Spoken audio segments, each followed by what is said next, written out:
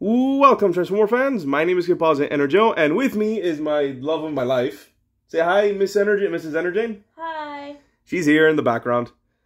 So yeah, so today's review is going to be an oldie, and that is the Transformers Beast Wars Deluxe Class Cheetor. And here he is. Well, more specifically, this is the Walmart reissue. So this is the newer, this is the more, as of the recording of this video, the latest re-release of this figure. So yeah, it's very nice, very solid, and from what I can tell, it's identical to the original one. I think the plastic feels a little bit newer, does feel a little different because I've held some, I have I have some older Beast Wars figures and they do feel a little different. So this one does feel newer, but the mold itself seems identical, if not the same as the original one. So yeah, here he is in his beast mode, which is obviously, as the name implies, he's a Jaguar, right, honey? Yeah. I say that because she first saw this, and, and, I, and I can't blame her because this is very bulky. She thought it was a Jaguar. It looks like a Jaguar. Yeah, because he's really bulky, right? Vroom, vroom. I love you. But yeah, this is supposed to be an original Cheetor. Um, I did a review on the newer one from the Kingdom line, the deluxe class from the King, the from Transformer Cybertron, Fall of the, the what, what was the name of it? King, the Kingdom, the Kingdom, be the the uh, Kingdom deluxe class Cheetor, which was a lot leaner. That one was I feel was a little bit better than this one, but this is still a nice solid figure. He's just a bit too bulky for, for a cheetah, right, my love? Uh huh. But yeah, this is a cheetah. That's who it is, and this is Cheetor. Even though in the show they always pronounce it cheater. But I always had a problem with that because there's an O in it, so I've always pronounced it Cheetor. How do you feel about that? Cheetor. Cheetor sounds a little better, right, than cheater. Yeah. But in the show, they always called her. They al- he always they always referred to him as cheater, but I always found that off. So I always pronounce this as Cheetor. All right, so yeah, here he is. His beast mode. Um, sadly, due to like a lot of figures from this era, he doesn't really have a lot of posability. I mean, he has a hinge in his hind legs, and that's the extent of his articulation. So he has ball joint. Ah, that's not supposed to come off yet. There we go. So ball joint and a hinge, and that's pretty much it. This doesn't move because of that's that part of transformation. So that doesn't really move. So yeah, sadly, this figure doesn't really have any articulation besides his hind legs a little bit. So yeah, that's pretty much it for his beast mode. It looks good, just really bulky. So let's get on with transformation. So first things first, we have to yank off his tail. Tradition at this point with the with, uh, with Cheetor. So you have his tail, put it off to the side. But then something unique to this figure, as far as I can tell, we have to pull out his guts. That's this thing. And I mentioned guts because if you look carefully at the molding, they molded intestines and guts on this side of his blaster because this, this is a this is a weapon. Can you see it, my love? Cool. Yeah, they molded it in, and I think in some later re-releases they actually painted it pink, which is kind of interesting. I know in the masterpiece they did have his gut blaster, and they painted it pink, like in the show. So yeah, now with his accessories gone, all we got to do is transform him, which is pretty straightforward. Just legs straightened out, pull out his feet, rotate, rotate. Wait, was it rotate that way? Yes, yes it is. Then rotate the waist. Then you flip down his crotch guard. Fold out these cheetah legs. And then fold and bring out his arms. Click them into place. Fold out, fold out. And then the cheetah head, bring it down. And rotate. And then just fold it back in like so. And here we have Cheetor in his robot mode. And what do you think, my love? Um, he looks pretty cool. Yeah, very cool. Now, is he screen accurate? Eh, a little bit. He's a little bulkier than he should be, but again, they couldn't really do... Eh, I'm just assuming that's how it was from that era. He still looks really cool. It's a nice, like, alternate version where he's, like, really extra bulky. Also, the cheetah is just sticking out. And I don't know how to feel about that. You? Mm. It would have been nice if like if like in later later versions they kind of like um were able to fold it in, but this did come out. Oh man, when did, when did this figure first come out? 1992, I think. Cool. So literally right before this thing happened, it was what it was it was G2 Transformers and then G1. So this is pretty this is still pretty good for something that old, something that's about as old as I am. Oh, and another thing, because this is an early Beast Wars figure, he technically has two different heads. For those of you who know, he does have his mutant head, because that was a feature they tried to do with the with the early, and I mean early Transformer figures where they had two different styles of heads. You had the more robotic one, which is this one, which is the one we all know at, that's related to um, Cheetor. But then we have this mutant head that's right here, which for some reason on this version kind of looks like a bug. Hold on, what do you think this looks like? Um. Kind of looks like a beetle head. Yes. Yeah, it looks like a beetle head with like some cat ears. I think it looks fine, and that's how I display them because, well, I do have the other, uh, the other, the other Cheetors, so I kind of like having display with the mutant head just for some variety.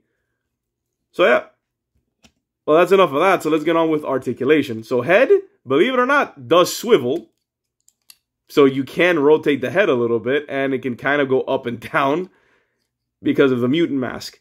So arms are on ball joints, swivel there, and a very nice bend at the elbow. There is a there is a waist, which is nice.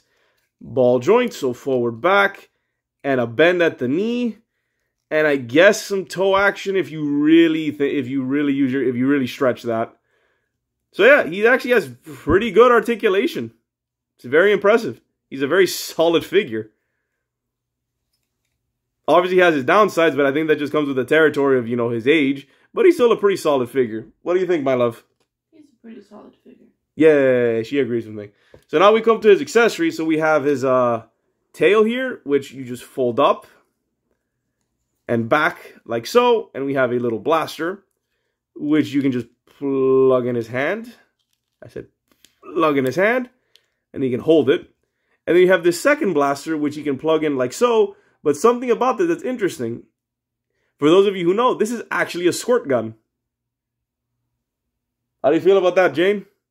Um, is it a real squirt gun? Yeah, no, it's this is a legitimate squirt gun. Like I can squirt if I wanted to. Yeah, you literally it, it's a plastic pocket, which I'm showing on camera. This thing squeezes, so you can squeeze it. You squeeze this. Uh, You see it? You put it in water. uh, You pull. You you um you um what is it? Oh man, what's the word I'm looking for? Drain? No, you you sort of uh suck up some water and you just start squeezing it to squirt out water. This is a legitimate squirt gun. cool. Yeah. Yeah, a lot of fig- again with uh, this first wave, a lot of figures did that back during the original Beast Wars day. Um, some another one that did it that's famous is Dino Megatron, hmm where it was his tongue. His tongue also was a squirt gun, so that when you would attach it back into his head and you pull his head back, when he opened his mouth, he would shoot out water. For this one, it would just squeeze this and it shoots out water.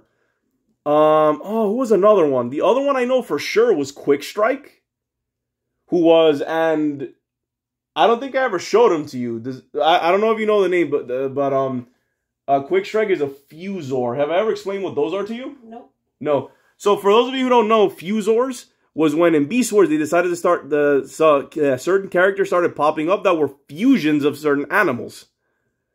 So, so sorry about this little tangent, but I just want to mention mention it.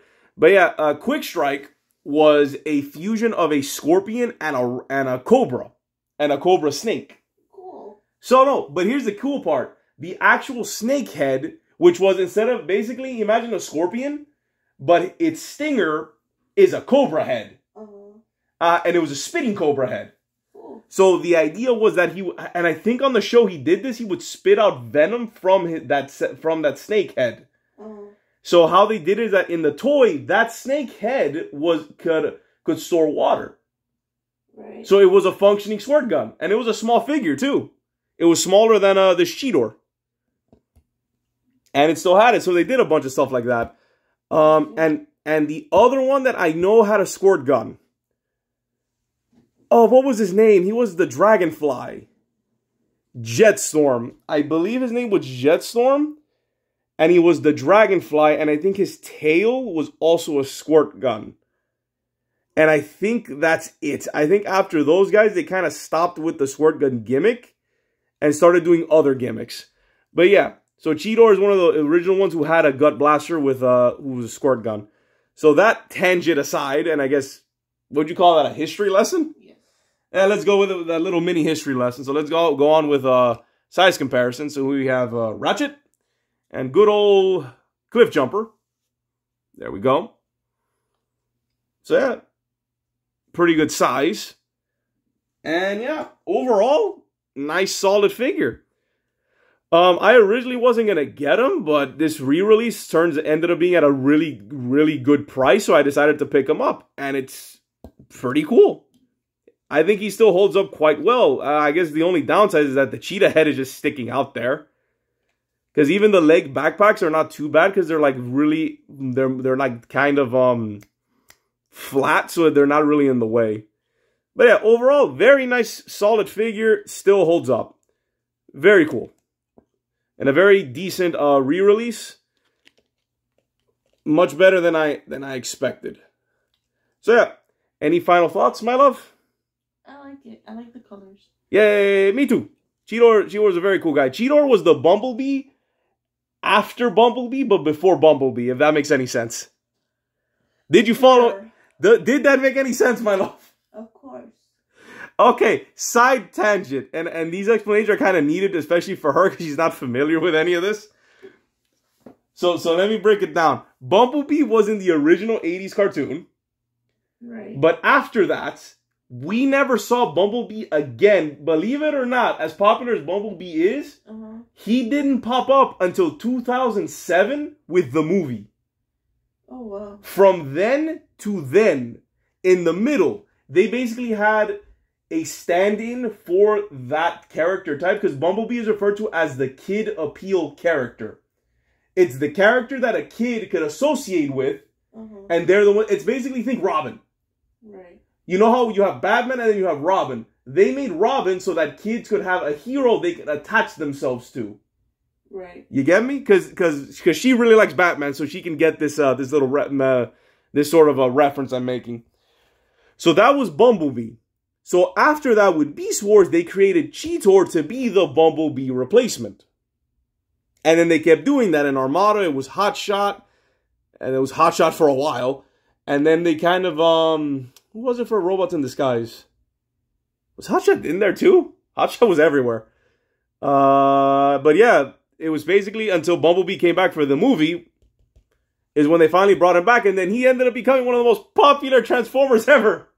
He's everywhere. Now Bumblebee is everywhere. Bumblebee rivals Optimus Prime in how many figures he has. It's ridiculous. Right? Well, she doesn't know that, but I've seen the list. Like, wow, there's a lot of Bumblebees now. Old, new, everywhere. So that entire tangent aside, because I think I've been talking too long, right, my love? I love it. I love you too. Yeah, she's she's giving me the she's giving me a weird look. She wants me to stop talking now. I don't think she's realized how much how much into this I really am. Do you, my love? Yeah, as long as the robots, you know, aren't doing anything. Ah, don't don't go into more detail with that. We keep this we keep the show all, you know family friendly. Yes. But I get what she means. Don't worry that that they don't do that here. It's one of the reasons one of- one aspect I like about it. They don't go there. For those of you who know what I'm talking about, you know what I'm talking about. They don't go there. Although, now I'm just kidding. I'm kidding. There is Silverbolt and Black Arachnia. For those of you who know, you know what I'm talking about. But it's all family friendly. So yeah, this is this is Composite EnerJoe and Enerjane, and this has been our review of the Transformers uh, Beast Wars Deluxe Class Cheetor. And this is Composite EnerJoe and Jane signing off. Peace out. Peace out and be safe.